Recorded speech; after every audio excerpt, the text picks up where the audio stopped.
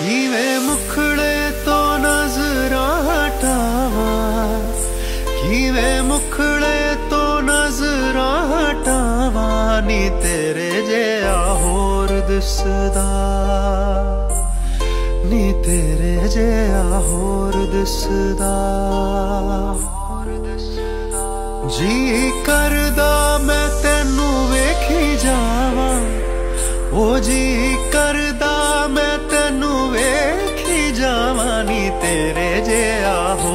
ਦਿਸਦਾ ਨੀ ਤੇਰੇ ਜਿਹਾ ਹੋਰ ਦਿਸਦਾ।